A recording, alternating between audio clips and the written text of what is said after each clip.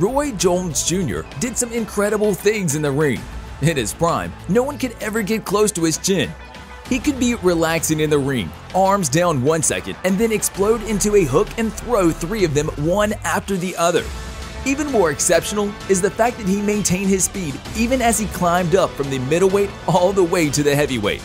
Be sure to stay until the end of this video because we'll go through Roy's top 5 knockouts that displayed his exceptional fighting abilities.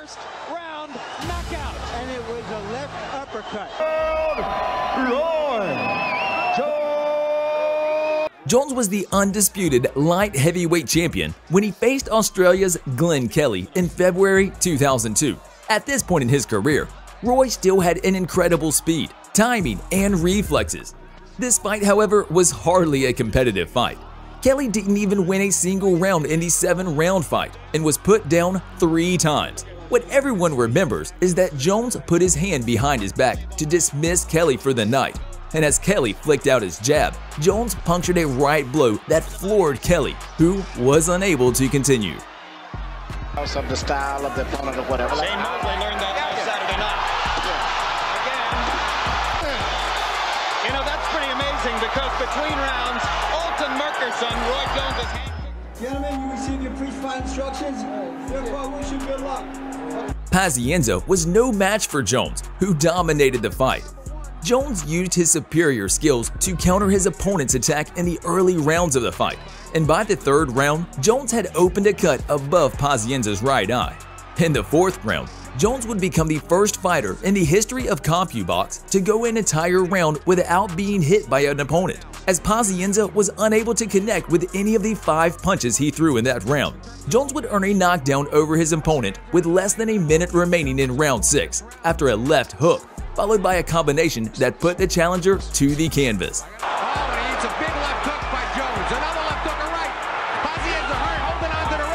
Pazienza was permitted to continue despite being visibly shaken from the exchange, but Jones immediately put him down with a right hand with 25 seconds left in the round. The referee again let him continue, prompting Jones to immediately land a six-punch combination that sent the challenger crashing to the canvas for the third time in the round. Jones says, come on, Vinny, let's call it a day. That's going to be it. I think Tony Orlando's Roy shared that this was the fight where he felt he was at the peak of his powers. Pazienza's got no legs at this point. Tony Orlando trying to get there to stop it. Can't get in between the fighters. All right, gentlemen, you received your instructions from the dressing room. Are there any questions? Any questions from the chief second? In 1992, Roy was still on the rise when he knocked out Art Serrano in his 17th fight as a pro. After a slow start to the first round of the fight, Jones delivered a quick jab, followed by an overhand right to his opponent's head. Serrano was knocked down instantly by Jones' perfectly timed punch, which was described as the hardest punch of his career. When the camera zoomed in on Serrano's face, his expression conveyed the story. It was almost as if his eyes screamed, What on earth was that? After this fight, Jones went on to become one of the greatest boxers of all time, winning belts from middleweight to heavyweight. While Serrano completed his career with a solid 20 victories out of 30 fights, he will always be known for being knocked out by Roy Jones in one of the most impressive knockouts in boxing history. the lead right now. It, it's a small jab as a rangefinder went in before. All right, good evening, gentlemen. You both know the rules of the World Boxing Council. Roy Jones was annoyed by the disqualification he received in their first fight and went into the rematch with Griffin for justice. In less than 5 seconds, Griffin was stunned by a left hook, and when another hit directly after, he was falling backward and had to take a count when the ropes caught him. Jones spent the next 2 minutes looking for the finisher, and with around 42 seconds left in the round, he caught Griffin flush with a leaping left hook that put him down on his back.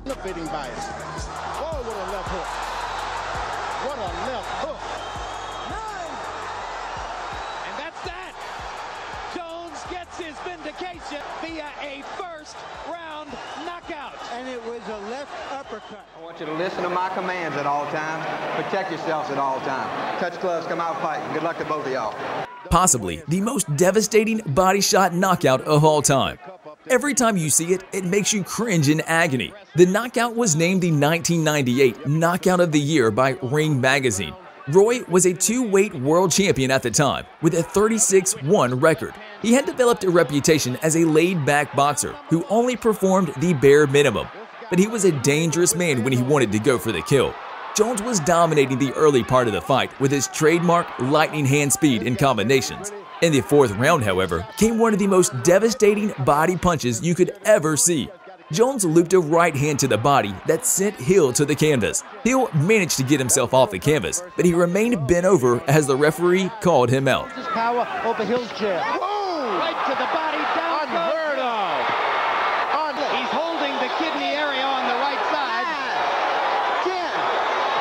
Thanks for watching. If you liked the video, press the like button and subscribe to the channel so you won't miss any new videos.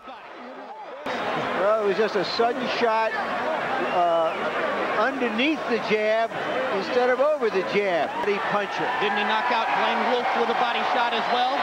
Long time ago back in Vegas? Well,